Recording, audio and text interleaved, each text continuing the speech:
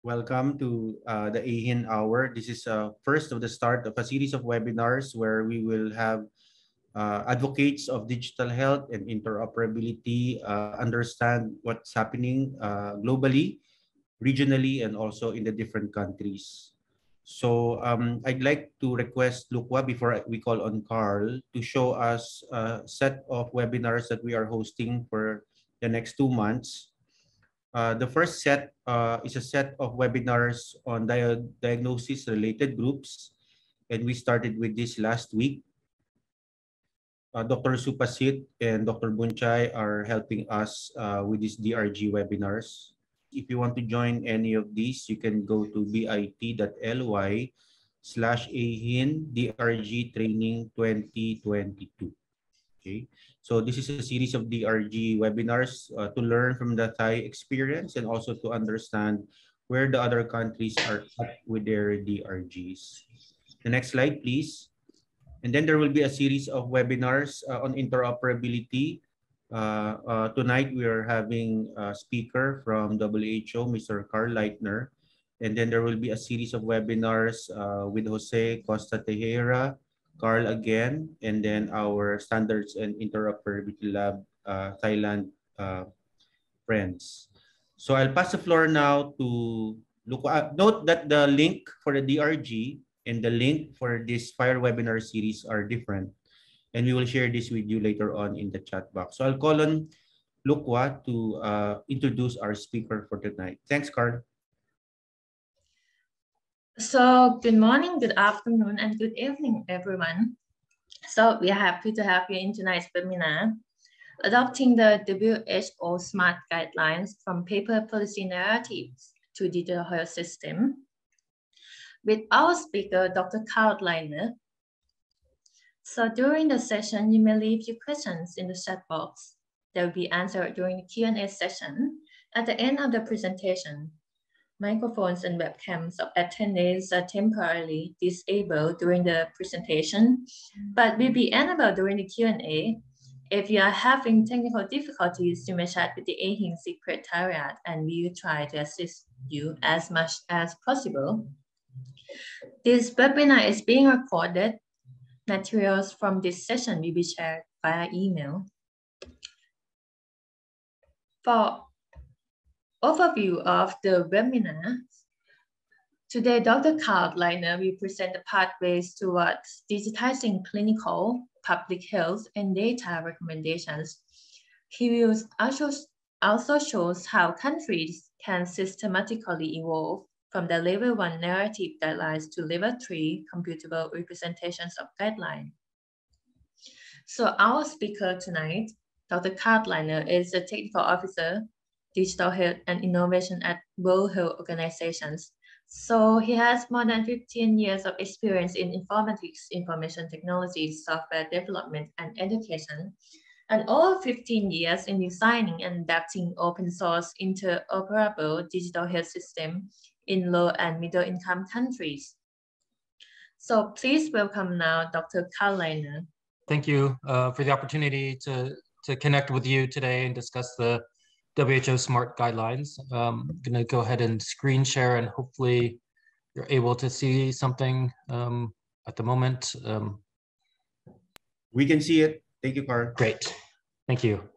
Um, so wanted to give an overview today on the WHO SMART guidelines, where they're coming from, a, little bit of, about the types of artifacts um, that they are uh, that are produced during the sort of SMART guidelines process. Um, and as indicated earlier, this is uh, the series of webinars. And um, while we could go into a lot of detail today, we will, um, uh, I'm afraid we wouldn't have the time um, to do so, but luckily we will have other opportunities um, to, to follow up.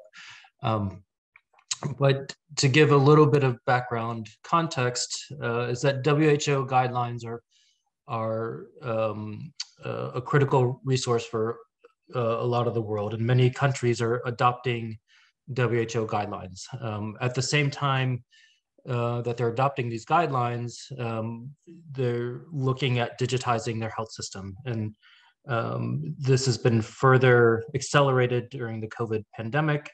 Um, and so the need to have digitized versions of those WHO guidelines is, is really paramount at this point.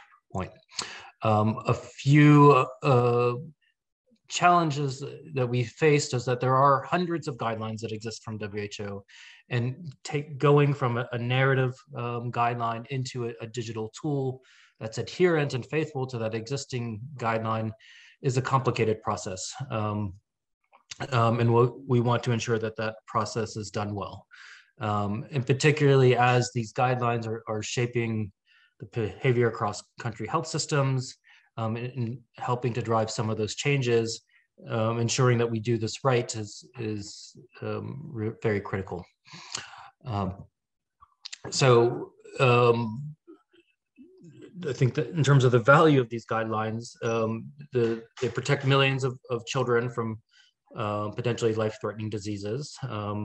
For example, immunization schedules and, and having those um, uh, uh, adopted by multiple countries and, and adhered to um, is a, life-saving measure. Um, reduce the incidence and mortality within HIV programs, um, when understanding ART eligibility and um, scale up and coverage, or reducing maternal and um, perinatal mortality morbidity uh, by ensuring that routine care and, and management of pregnancy and, and routine pregnancy and, and, complicated pregnancies is, is done according to the guidelines. Uh, these are just three general areas of, of, of smart guide of guidelines that WHO releases that also has a corresponding smart guideline um, um, being developed or, or already developed for them. Uh, if we look at the process that um, is typically undertaken during the guideline development, it starts uh, for the WHO guideline development, starts with the WHO um, looking at the, the clinical um, evidence for the development of those guidelines, and it goes through um, a, a, long process in consolidating that evidence from countries. Um, uh, once a guideline is published, that's typically adapted by uh, at the country level by uh, the Ministry of Health, by member state, um, reflecting some of the contextual realities of, uh, of the country, um, existing guidelines that the country already has uh, or protocols, um, as well as existing infrastructure and um, health informatics standards. Um, uh, this could be terminologies for vaccine codes or um, different disease classifications, but um, in general, the, the, the adaptation process takes um, both the the the WHO um, existing narrative guidance as well as the country specific context into place. Once that's been developed, um, those uh, adapted guidelines are then um, sent to implementation and technology partners for implementation into digital solutions, um, and then um, deployed to the health workforce and health service users. Um, now, um, sort of the current process today or, or over the past few years is that uh, among all of these steps, there's lots of room for um, uh, for issues to creep in um, uh, in terms of the quality of the guidelines that are ultimately de delivered to the the users and the health workforce. Um, one um, is that this is a, a, fairly long and extensive process, and so anything that we can do to um, make that quicker um, and more complete will facilitate um, rapid adherence to guidelines, um, whether they're the WHO direct or the country adaptation. It's also quite resource expensive um, and resource of intensive and, and difficult to adopt. Um, typically the, the WHO narrative guidance doesn't come with the artifacts that we would want to give to the implementation and technology partners, such as requirements documentation, workflows, user personas, um, uh, and and what we're left with is um, each country or perhaps each implementation partner in a country going through that process and developing um, those uh, requirements themselves.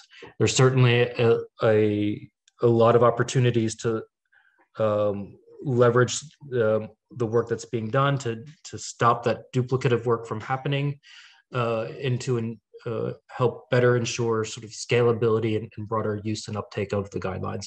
If we can um, reduce the that burden for um, implementation and technology partners. We also have a challenge is that um, often those implementation technology partners are not the subject matter experts that it originally contributed to the, the WHO or Ministry of Health guidelines. Um, and so uh, because of that, when they're trying to understand and, and the somewhat uh, or can be highly technical medical and clinical content in the guidelines, um, uh, they won't have access to those SMEs to understand subject matter experts to understand what was really intended um, and we lose fidelity um, as we try to digitize those guidelines fidelity with the original intent and purpose. Um, and as those those artifacts such as the functional requirements um, et cetera will will make it difficult to to ensure that there's that fidelity.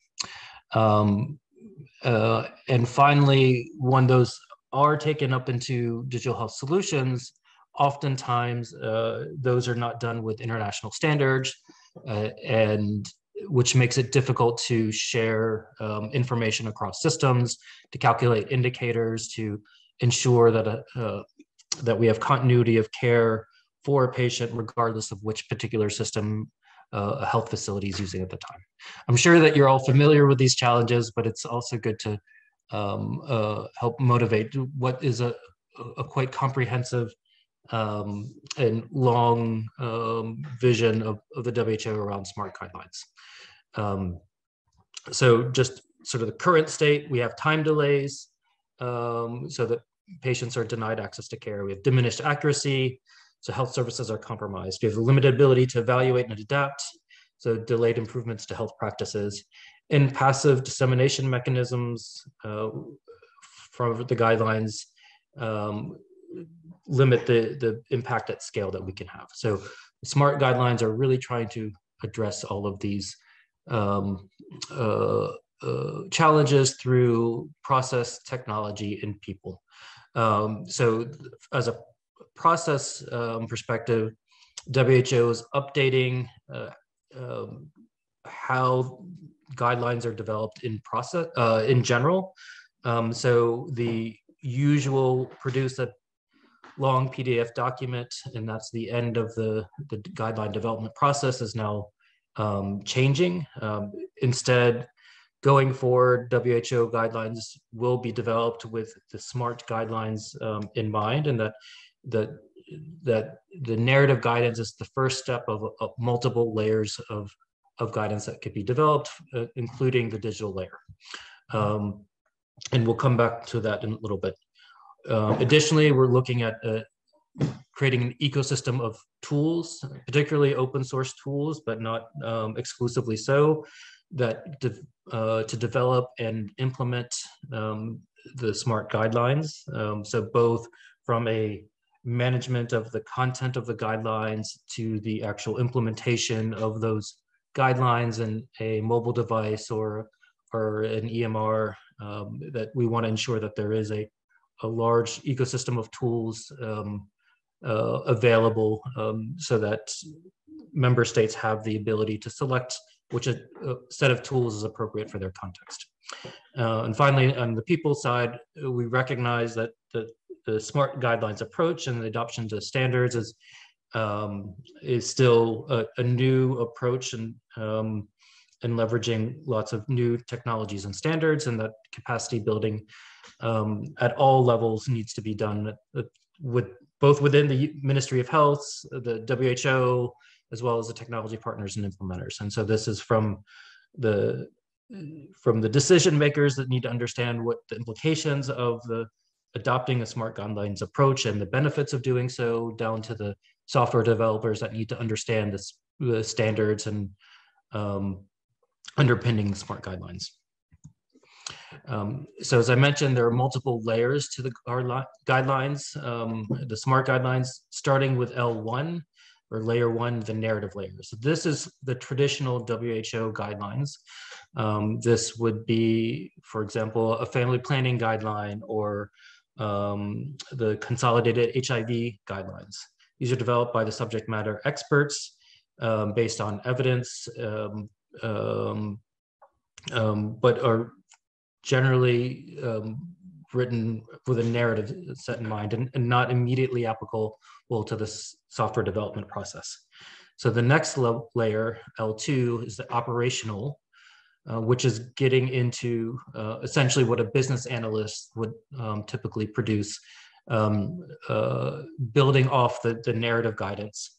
So these are um, things like structured workflows, data dictionaries, um, decision support documentation, um, users, um, user personas, um, really documenting out in uh, in terms of the software development process, the requirements for a uh, software components. Getting into the level three, the or layer three is the machine readable. These are the computable parts of the guidance. Um, these are um, specific software artifacts and um, that can be leveraged um, for software development purposes. Uh, it's taking the what was produced in the L2 layer, the, the business analyst layer, and putting put them into um, the standards, particularly the HL7 FHIR standards for um, data modeling and exchange, um, and leveraging um, the various terminology standards such as ICD, um, LOINC, or others as appropriate. So the L3 aspects are really getting down to the um, how do we do this in practice. Um, and the L4 is getting into the um, actual software um, code itself, the executable software tools, the applications, the EMRs that are taking the components from the L3 um, level, the FHIR implementation guides, and actually implementing them in uh, software tools for use at a country level. Um, WHO is, is producing um, artifacts at the L1, the L2, and the L3. Um, at the L4 level, um, while there might be some specific projects, the, the focus of WHO will be at reference implementations of the L4 um, artifacts. So these are designed not necessarily for production, um, um, though could be a basis for production systems.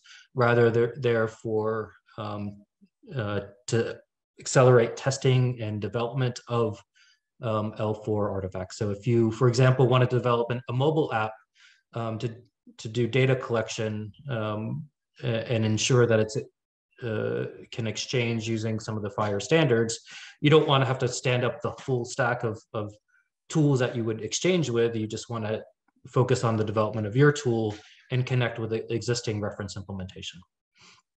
Um, and then uh, we will also use this referencing reference implementation as a basis for a clearinghouse of digital health tools, um, which we are in the process of standing up. So uh, what we will have is the ability for a, a, specific application to say, oh, I adhere to the uh, antenatal care guidelines from WHO, and here are my sets of tests and uh, documentation, documentation to prove that my tool can interact with these reference um, uh, uh, implementation tools and, and, ensure that we do have um, fidelity of, of data exchange. And finally, looking towards the future, there's a fifth layer, the L5, the dynamic, is as we um, move to a digitized and standards-based um, environment of health data, what types of machine learning, AI-based decision support services that are uh, can be developed that are based on real-time data, looking at um, more predictive analytics um, uh, at, on a more active dynamic uh, basis rather than um, the, the slower process coming from the L1 narrative. Um, a few things of just to say what the SMART guidelines are and what they are not. Um, so first of all, it is not a specific application. There is not a SMART guideline app. Um, there's a, an ecosystem of tools. Um, we're, we're, we're not saying that they're you must adopt this particular technology stack, product or platform. Um, it's not a specific clinical or data um, uh, management solution. And, and it's not an effort to um, uh, force or promote a particular software solution. Um, really, um, what smart, smart guidelines are is a, is a systematic way to digitize existing and uh, upcoming WHO guidelines um, and to create a set of generic artifacts or components that can be applicable to many different platforms and tools um, and, and taking account what are the relevant clinical and public health data recommendations and how are they inter intertwined. Um, it also gives a way for ministries to provide specifications and control over the digital health products and services that they implement.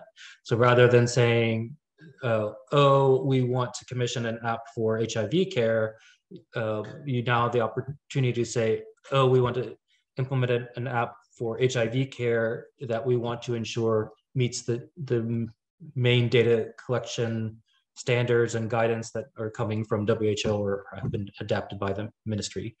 Um, so it provides a, a, neutral way to to vet and um, uh, uh, propose digital solutions for fidelity and, and adherence to guidelines. Um, what we're looking at in terms of breaking this down um, into sort of manageable components. Um, and on the L1 to L3 um, la layers, the, the narrative, the um, operational and the, the computational layer is to set a up a smart guidelines exchange that will support the authoring, testing, and dissemination of smart guidelines content.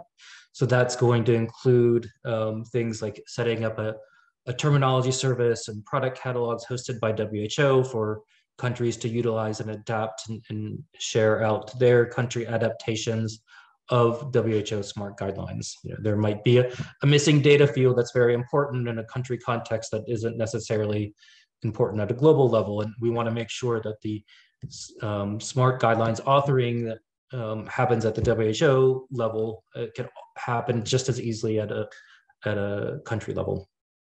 Um, we're also supporting a, a, a deployments um, of a few um, examples of smart guidelines um, to ensure that the, the full process um, will work and that um, we can iron out any of the, the issues related to interoperability or uh, infrastructure, as well as ensure that there's a very pragmatic view of, of the implementation of the uh, smart guidelines. Um, uh, give you a sense of where things are um, uh, at um, in in terms of the smart guidelines ecosystem. Um, we have um, in terms of the L1 through L3, we've got a number of, of things in progress, including the terminology service, uh, uh, digital uh, adaptation accelerator kit authoring um, platform, that's in progress. Um, we've been working with the FHIR IG community and, and um, developing synthetic data sets and conformance testings around the FHIR implementation guides and looking at how to um, automate the, the, production of FHIR implementation guides from the L2 content, from the, the data dictionaries, from the business rule, business processes, the business rules, um, and developing an uh, APIs and, and business process to ensure that we can share out quickly the, the L3 content and into the applications, um, the EMRs, et cetera, um, so that it can be readily adopted um, by the local vendors and apps. Um, so a lot of this is um, either in progress or scoped, um, and and and happy to, to dig into more details at a later point if you are interested. One other thing to, to highlight here is that we're also working very closely with Google around an Android SDK that is um, designed to ensure that there's FHIR support in Android, um, as well as meet the needs of the, the smart guidelines. And we'll in a future webinar, you'll see some specific examples of what that looks like. Um, looking um, at what we have published at the L2 and L3 and L4 level. Um, um, and, and, for those of you that have been around for a while, the digital adaptation kits that WHO's published are essentially the L2 level and the FHIR implementation guides uh, are the L3 level. Um, so we have antenatal care uh, uh, fully developed, including a reference app. Um, similarly for family planning, um, STI is in progress, will be published soon um, with uh, the the value sets of the term terminologies um, coming. Um, adolescent sexual reproductive health is published. HIV, um, the DAC is published, if not published already, um, and the machine readable is in progress. The the FHIR implementation guide. Immunizations um, uh, is um, both the L2 and the L3 will be imminently published. Um, um, and that includes routine immunizations, COVID immunizations, um, and AEFI. For child health and emergency settings, uh, we have uh, made a lot of progress in the development of the L2 and the L3 artifacts with a uh, pilot um, in uh, being planned for later this year um, um, uh, in around in three or so countries. Um, another example of a smart guideline and um, that we've been developing is the digital documentation of COVID certificates, which um, is the for those of you that have traveled, it's the QR code that you can use to document your vaccination status or test results. Um, both of those have been published as L2 and L3. Sorry, this slide is a little dated. Um, and um, reference software exists fully for the vaccination status and is in progress for test results. Um, it is an example, of, uh, a very narrow example of a smart guideline in that it's providing um, a L2 and L3 artifacts in terms of uh, standardized data model uh, using FHIR and decision support services um, using um, uh, the, the, SMART guidelines framework.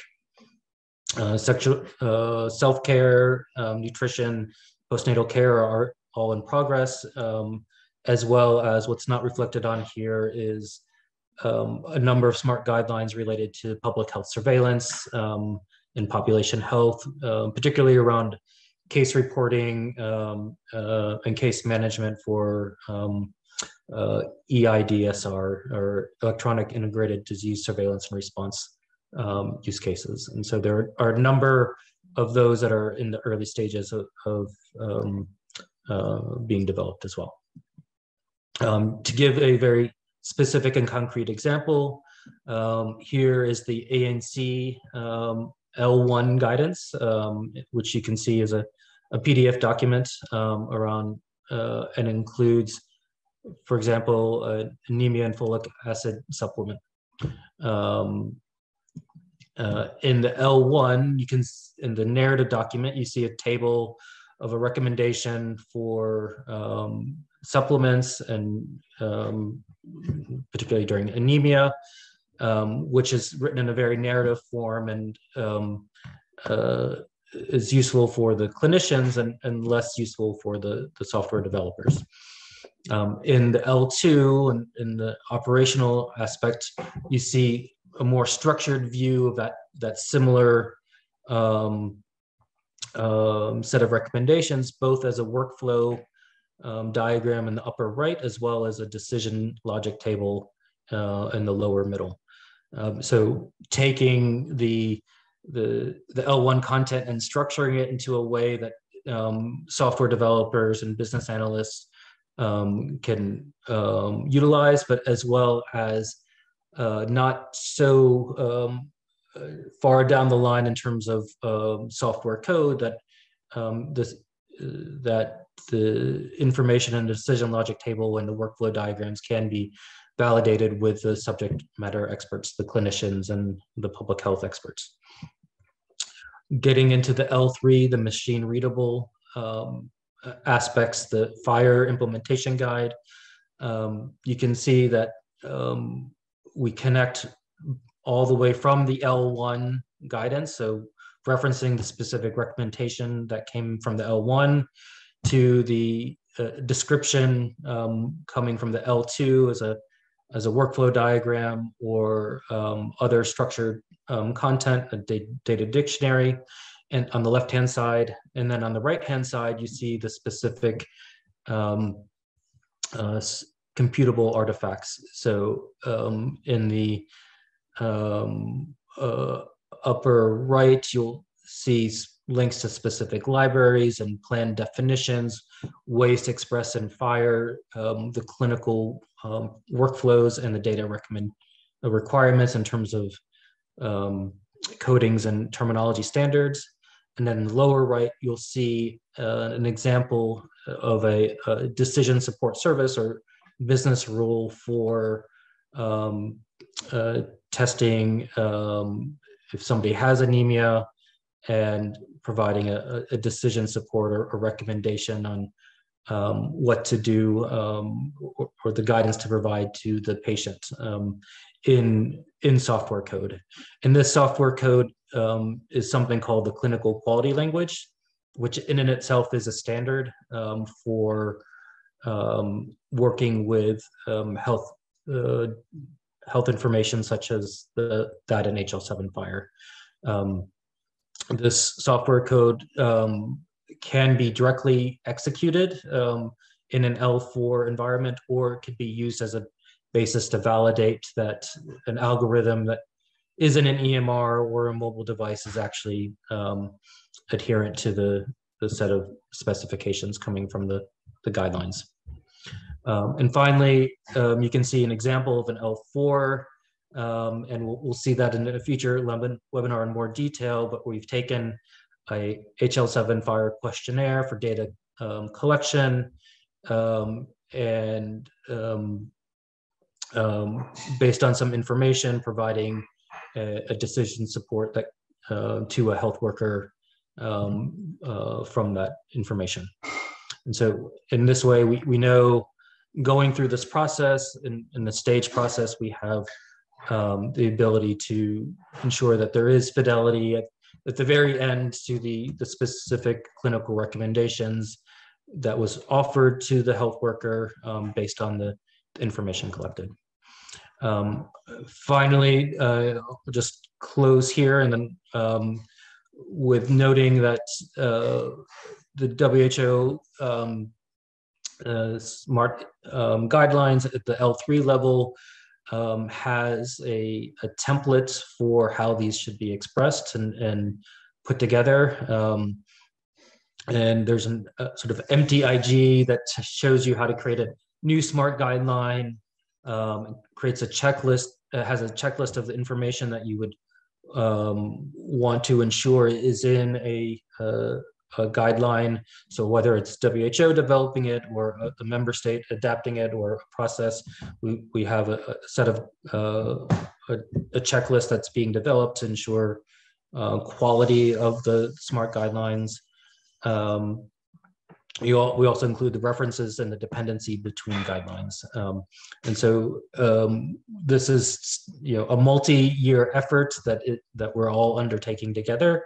Um, and you know we are you know the, the beginning of that effort um, um, but we think having a very structured process in which there is a high level of assurances of quality along the way is, is the, the best way to to work um, on this together so um, um, so just to quickly note um, as I close, just what is the feasibility of this? Um, so just an overview of the open source and commercial FHIR um, uh, libraries and platforms and tools that are out there. Um, this is not an exhaustive list, but you can see it.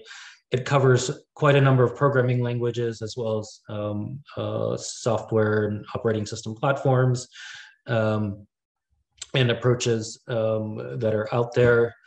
Um, and and as a preview to one of the upcoming webinars, we'll look at the specific Android FHIR SDK that um, can is designed to be incorporated into existing as well as new um, uh, mobile applications that includes uh, a base level of functionality for the management of um, FHIR um, data, its storage, um, some basic APIs um, that will help foster and facilitate the adoption of, of uh, smart guidelines. With the intent that um, the software developers and, and, engineers can ideally just download the smart guidelines either from WHO or from a member state and run them on their application um, and have the software developers really focus in on the the user interface, the application logic, um, and the workflows, and not have to focus in on um, trying to interpret um, WHO smart guidelines and and um, going through that full process of requirements development and and representation and, in the FHIR um, set of standards. So um, the intent is to get as much for free as possible out there. Um, so thank you, um, and I'll turn it back to the moderators for facilitated questions and comments. So thank you so much, Dr. Carl Leitner. So, so in the chat box, I saw many questions arising.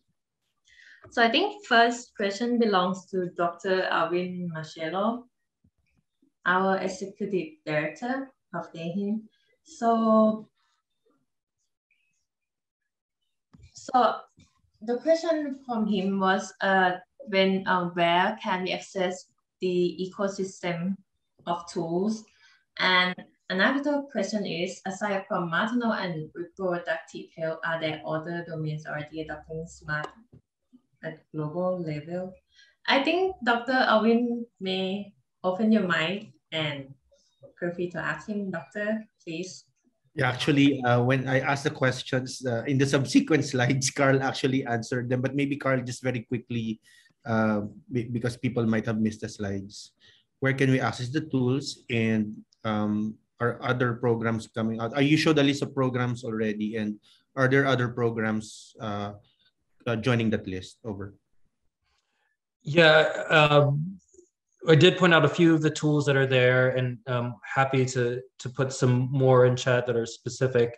Um, maybe what we can do for the webinar is um, that's upcoming is to make sure that we've got a more exhaustive and structured list. Um, uh, unfortunately, I don't think we have um, yet a, a, place where everything is available in, in one easy um, um, um landing page around smart guidelines.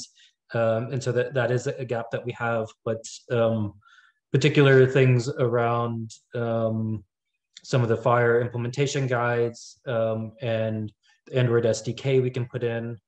Um, for the DDCC, the Digital Documented COVID Certificates, there is a, a set of reference implementations and um, testing tools as well that I can, uh, and testing framework that I can share as, um, later. So happy to follow up with additional information on that. Thank you, Carl. I have other questions, but I look, what can you read the questions from the other uh, participants? I don't want to have the Q&A. Okay. So another question is from Dr. Boonchai. So he asked first, how the WHO headquarters, departments, and regional offices who develop narrative guidelines work with WHO DHI department? Yeah, so the, the development of um, the narrative guidelines from HQ WHO is um, through the quality norms and standards um, uh, unit, which sits within the science division. The digital health and innovation unit also sits within the the science division, and we work very closely um, um, with quality norms and standards. And currently, we are in the process of um, um updating the handbook for guideline development, um, which exists to ensure that it reflects the, the SMART guidelines process. Um, we also work very closely with the ICD team and um, that does the classifications um, and ensuring that we have fidelity. Um, um and that exists sort of in a different um, division within WHO. Um, the, the general process for the L1 guidance is a, is a consultative process, process that includes subject matter experts, both internal to WHO, at the HQ level, at the regional level, as well as external um, um, subject matter experts that are engaged. So each sort of program area has a different set of, of SMEs that they draw upon, um, but that's the general process. And um, if you have more specific questions, happy to to, to address those. Oh, thank you, Carl. I think this is a very good initiative, and I'm happy that uh, uh, it happened because it will be very uh, convenient for the country to implement and also have uh, uh, to me i thinking about like in the clinical we have the clinical practice guideline and we want to interpret that into this and, and into the level one to level three and it's already done by the uh, the one who create the guideline that is a very good news and thank you very much for the headquarter and regional and the, the, the collaborative works uh, uh, on this. And I think DDCC for the uh, vaccine and DDCC for the lab test is one of the good example that uh, uh, uh, we should go on that way. Thank you, and we are looking forward to that. I know the guideline, there is hundreds of guidelines, both headquarter and regional, and there's an old one. And I hope that the next one every department that we, that uh, develop the guideline will work like the DDCC, uh, uh, uh, what we have. Done. So that, that would be help country a lot. Thank you. Thank you very much. Over to you. Yes, so next questions is from uh, Ms. Uh, Maya Agawal. So maybe you can explain these five layers using a medication adherence case, Dr. Carl Leitner. Um, sure. So um, maybe just to, to talk through what that would look like. Um, um, I don't know if it would help to, to share the screen, but it's sort of the L1 layer, it would say um, you would have a recommendation for, you know, maybe there's a, a particular population, patient population that should be taking medications and identifying what that population is and what that medication is and the the the particular protocol being applied. And that would be in the l1 guidance um, with the l1 layer. The l2 you would have the the more structured version that would say uh, you know if you're registering a patient how do you identify that they are part of that population or that patient cohort that you want to identify? What are the the the questions that you would ask what's the logic you would go through what would um, the specific um, questions that you would need to ask to evaluate which um, medication that they are on um, um, know that's not exactly adherence, but um, hopefully this is a good enough example. At the L3 layer, it would be, okay, here are, you know, a list of the terminologies or codes that are used for the medications. Here are the specific logic to, to note whether they are uh, adherent to their me medicine uh, medicinal regimen based on a particular protocol and based on oh we know that they had a um, were administered the drugs or, or self-administered the medications at a specific time. Um, and so that logic would be at the l3 um, and the l4 is just the the specific application that the health worker or the the client is using. Um, hope that's helping um, uh, tease that out a little bit but I think getting into some practical examples in more detail might um, be useful. I, so thank you very much, Dr. Carl Leitner. So another question is, from Pei Canlas. So it's from Philippines. So hi, the Philippines through the UHC law is pursuing encouraging a somewhat federated approach to local health information exchanges as backbone of interoperability. So does the WHO support or planning to support local governments and their local partners wishing to develop interoperability layers at the provincial and city levels?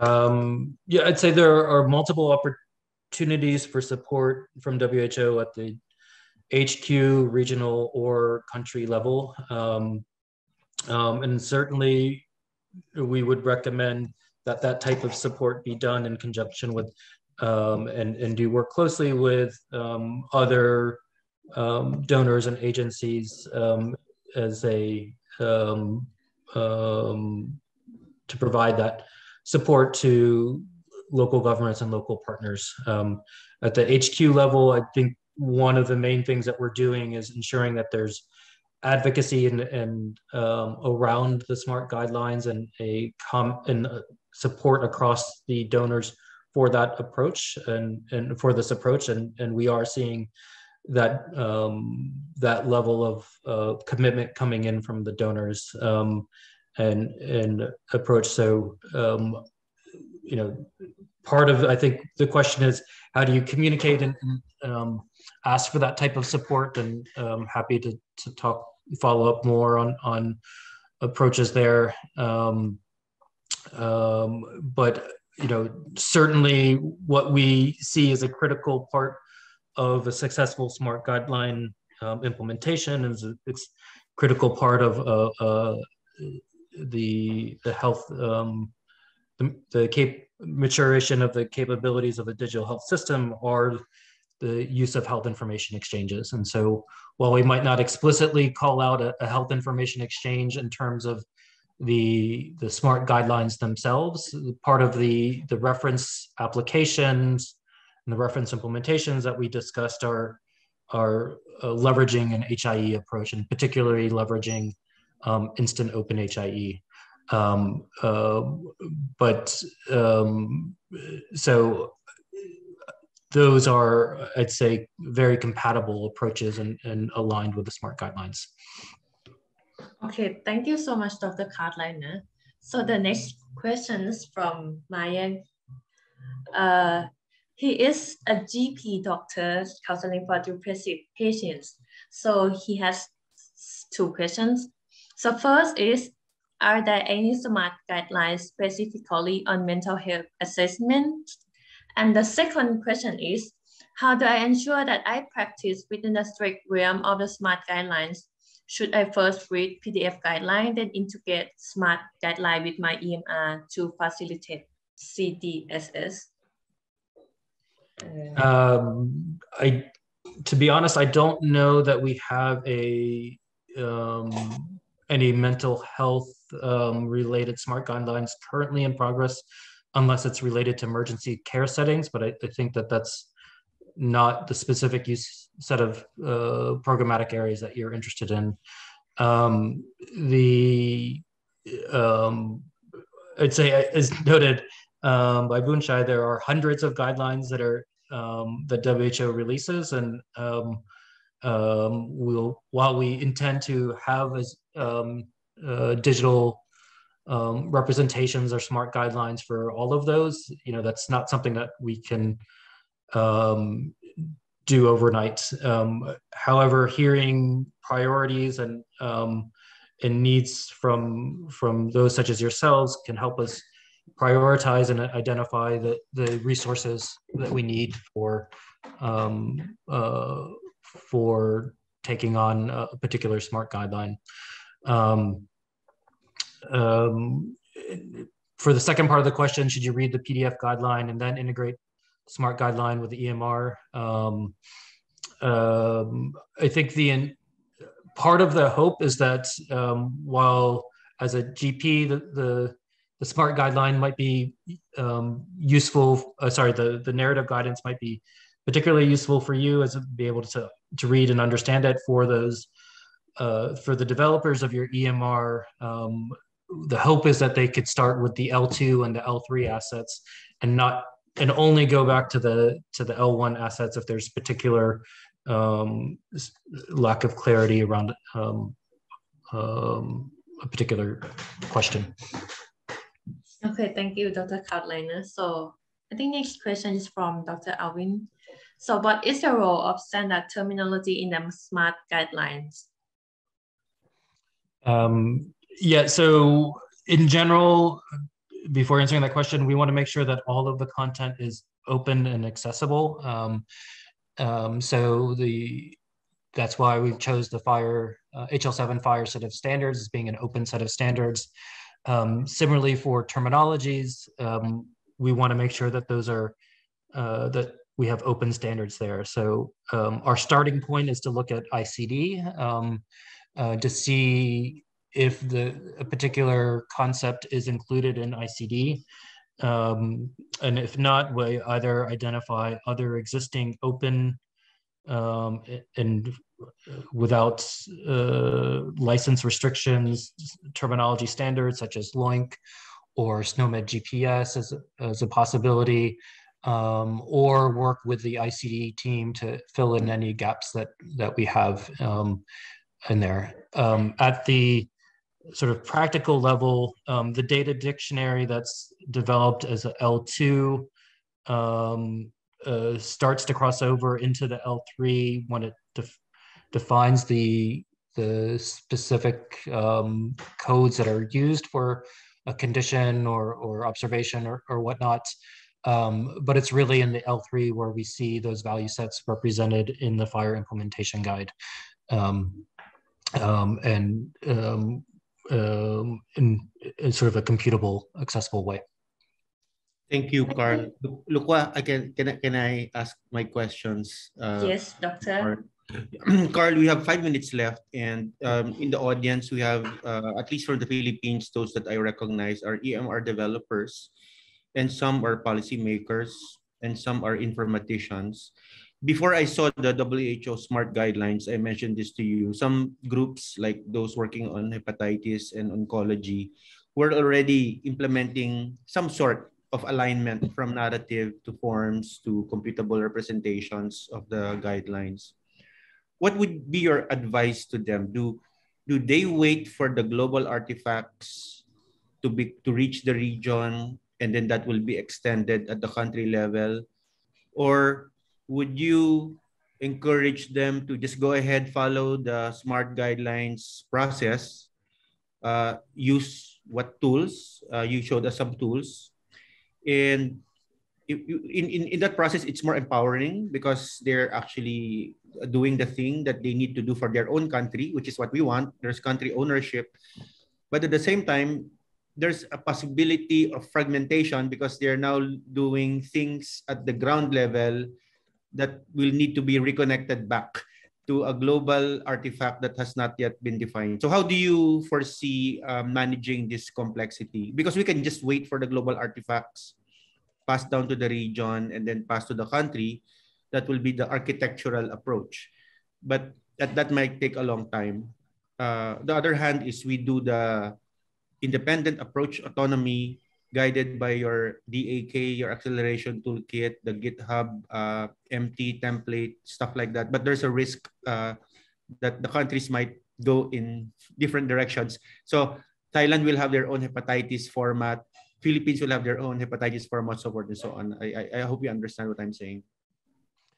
Yeah, no, um, there's there's certainly a need to balance sort of pragmatism from from an ideal state of if we had done this at the outset. Um, you know, the L1 guidance does exist for a lot of that. And just because we are, are embarking on the smart guidelines process doesn't mean that, oh, we should pause any efforts on interpreting the L1 um, guidance and, and, implementing that in countries. Um, I think what you rightly called out, though, is that there is a, oh, if we do this, how do we ensure that there isn't a high level of fragmentation. Um, and that's where we um, are really working through on defining the process, defining the sort of the checklists of expectations at the L2 and the L3 levels to provide um, um, countries or, or regions that want to take these approaches at least um, some guidance on, on how to do that so that so to decrease the fragmentation that will um, result in the end of the day. Uh, that's going to take some time to get both those processes specified, all of the, the tooling and infrastructure in place, and particularly around the smart guidelines exchange. Um, but we do um, think that a lot of the patterns and the processes that we're we're are taking are um, are based on um, best practices that exist outside of smart guidelines, like having a terminology service in there. Um, there's um, uh, um, maybe a, a, couple of you know, sort of practical things you can do to mitigate that fragmentation. One is um, really thinking through the your terminology management um, and making use of things like concept maps and FHIR to to map from uh, a concept that's similar in, in, Thailand to one that's similar in Vietnam, as an example. Um, at sort of the, the coding level. Um, there are also, um, uh, I think, a very useful construct in FHIR called a logical model, which um, is essentially defines your data dictionary. And there's tools to move back and forth between logical models. So um, as you develop a particular application for Thailand, make sure you document, you know, what is the logical model, what is the data schema um, that you're using in that application um, so that for future defragmentation efforts, you have good documentation um, and, and potentially a set of tooling that can help you do the transformations between countries.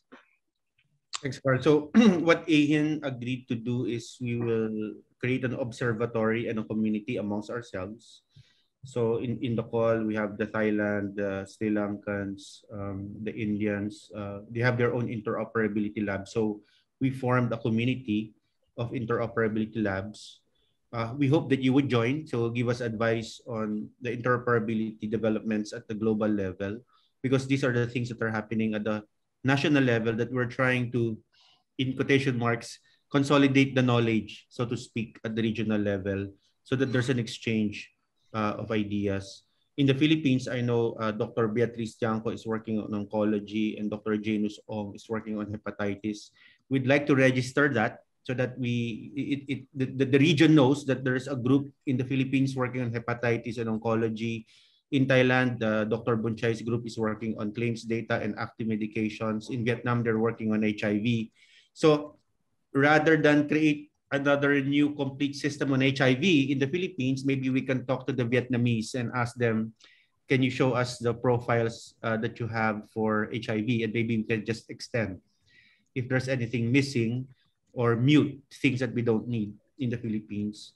Uh, we were hoping to serve that that role to, to, to, to sort of like mediate and make sure that there's communication and reuse uh, of, of, of artifacts across countries. And I hope WHO uh, over there, Carl, with you, Garrett, uh, and Nat, hope you can uh, also give us guidance and advice.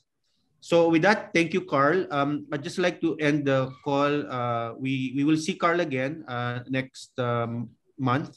Uh, but on May 18, the hour before that, 8 p.m., we will have Jose Costa Teixeira to give us a technical demonstration on a process flow of converting paper forms into FHIR profiles it's quite a long uh, type of webinar, so we divided it into two parts. Uh, one hour later at 9 p.m., Carl will uh, tell us more about the Android FHIR app SDK, which he mentioned briefly. On May 25, Jose comes back to for the part two of the technical demonstration. And we hope to uh, showcase the hepatitis uh, project that we're doing in the Philippines uh, together uh, with Jose. And then on June 28th and 30th, 9 p.m. Manila, we will then ask a country interoperability lab, our standards and interoperability lab, Thailand, to show us what they're doing um, with their FHIR capabilities.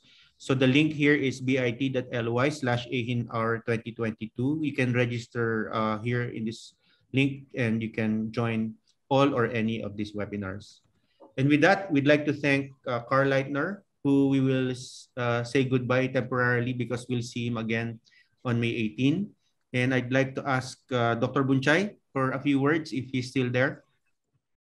Thank you very much, Carl. Uh, always uh, appreciate the your uh, help and contribution to the to the network, and we will uh, we will follow the the uh, the normative that the WHO has been providing us, and, we also would like to uh, contribute to the this initiative.